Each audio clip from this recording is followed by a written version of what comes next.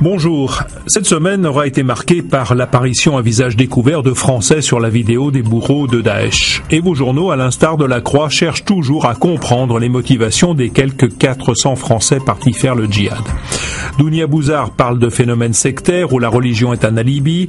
Pour le le Pape, en d'autres temps, ces jeunes se seraient engagés dans d'autres luttes insurrectionnelles violentes. En tous les cas, dans le monde, les parents et la petite amie de Michael Dos Santos, soupçonné d'être un des bourreaux de la vidéo, chose qu'il dément, l'ont vu, lui, catholique pratiquant, se transformer en musulman intégriste en trois mois. Depuis la Syrie, il appelait encore récemment sur les réseaux sociaux tous les frères qui vivent en France à tuer n'importe quel civil. La toile, c'est bien par là que passe l'ouragan de la com djihadiste titre Libération. Daesh utilise Twitter ou Facebook pour mener une campagne médiatique très structurée. En montrant les Occidentaux à visage découvert, l'État islamique utilise l'effet de proximité pour terroriser et pousser à la radicalisation. Il y a des guerres que nous devons faire cesser, mais sur le climat, il y a une autre guerre qui se prépare. Ainsi parle François Hollande, qui a fait du climat son nouveau front, titre Le Monde.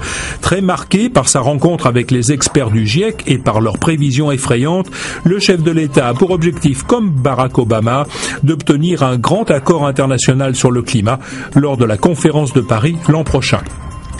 Et on comprend qu'il y a urgence à la lecture du Figaro qui, photos et schémas à l'appui, montre dans quelle proportion la mer, avec les tempêtes de cette année, a encore grignoté la côte atlantique jusqu'à 30 mètres au lieu de 1 à 3 mètres habituellement.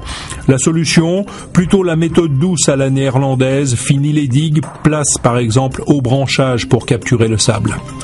Ils ont 25 ans et rêvent de partir travailler à l'étranger. Aujourd'hui, en France, révèle que près d'un jeune diplômé sur trois rêve d'exil pour lancer sa carrière. Pour échapper au blocage et aux rigidités de l'Hexagone, la destination favorite est le Royaume-Uni. Ils liront avec attention le point de cette semaine qui consacre 37 pages à Londres, capitale de la mondialisation, la ville où tout devient possible.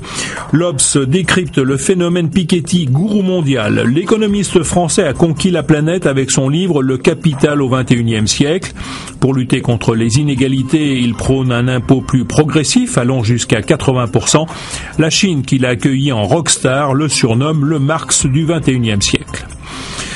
L'Express consacre un dossier édifiant à ses élus qui, tels Thévenoud, Guérini et Balkany, défient le fisc et la justice, une impunité qui inspire le dégoût à de nombreux Français. On refermera cette revue de presse avec l'équipe en rêvant que la France remporte ce week-end sa dixième Coupe Davis face à la Suisse d'un immense champion, Roger Federer. Le duel s'annonce passionnant et bouillant. Bon week-end à tous.